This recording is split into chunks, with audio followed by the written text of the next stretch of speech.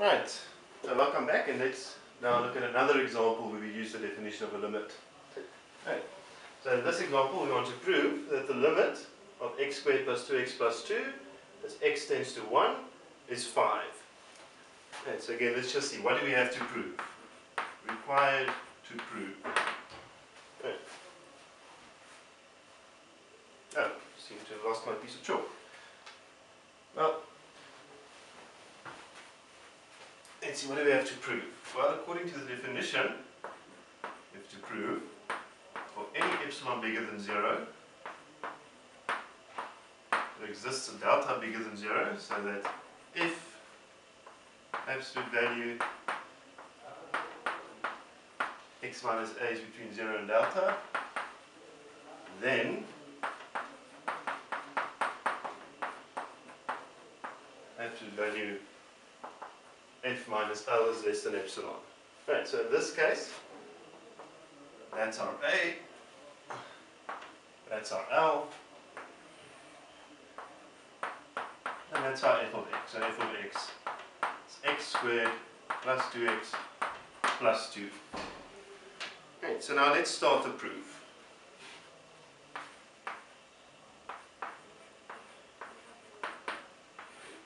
Again, we want to find an estimate for f of x minus L, so in this case our L is 5.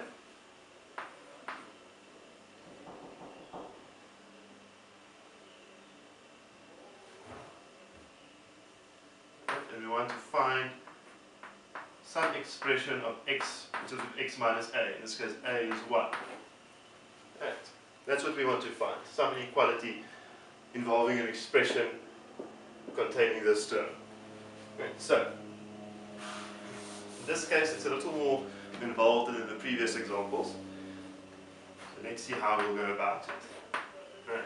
So f of x minus 5, that's x squared plus 2x plus 2 minus 5, that's x squared plus 2x minus 3. Now the thing to notice here is that you can factor this expression, right? You'll get a term x plus 3, x minus 1. Right. Now this is the term we're after, right? We want that term. Now remember, our delta here right, shouldn't depend on x, right? It should depend only on epsilon. Right, so we need to somehow get rid of this term. Now, how we do that is as follows.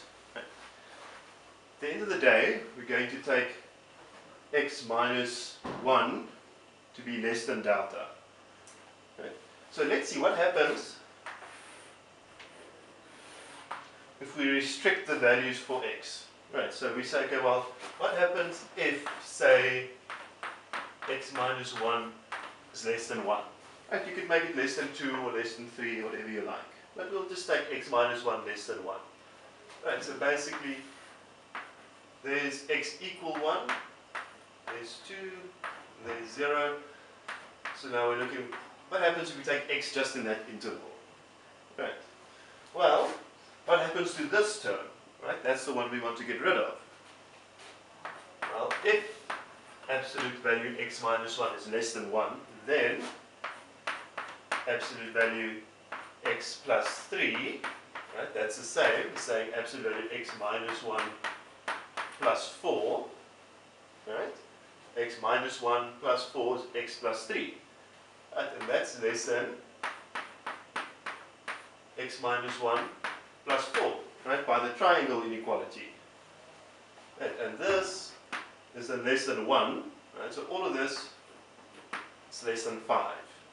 Alright. So that means if we restrict the values of x, right, we can get an upper bound for this term. Right, so let's call this equation A. Right, so by this little calculation here, we see that by A, right, if we get that f of x minus 5 is less than 5 absolute value x minus 1, right? but there's a restriction. If absolute value x minus 1 is less than 1. Right.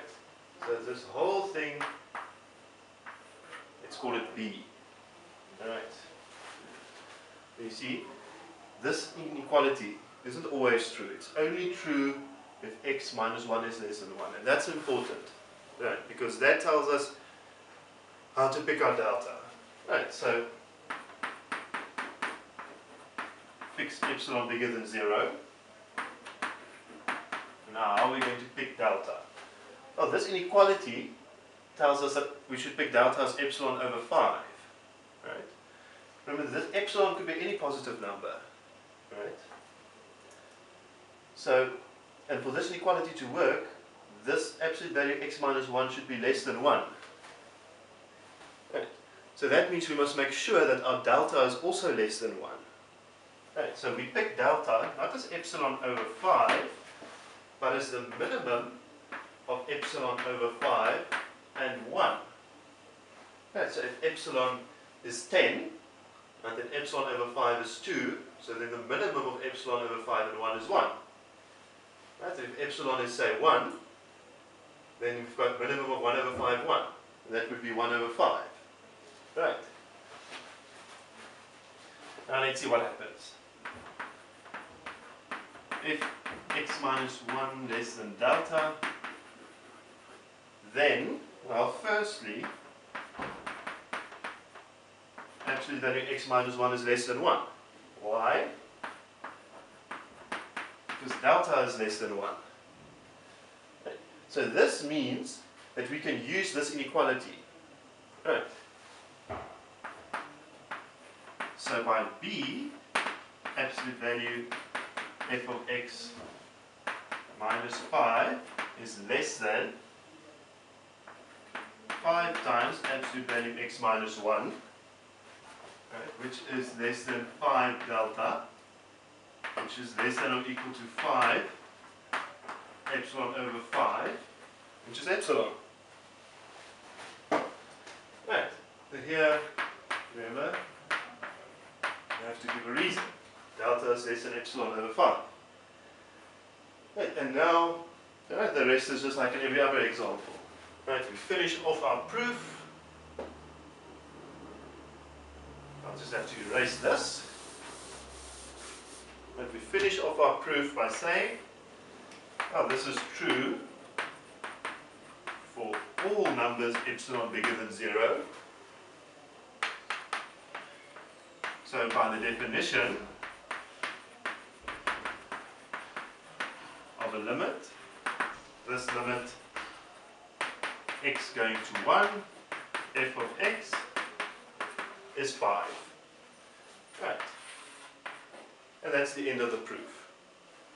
Okay, so in this case, there's a little bit more work involved in obtaining this final inequality, right, which tells us how to pick our delta. And then we have to be careful not pick our delta when we pick our delta, because in this case our inequality is conditional. Right? It doesn't hold for all values of x. Only for those where absolute value of x minus 1 is less than 1. Okay.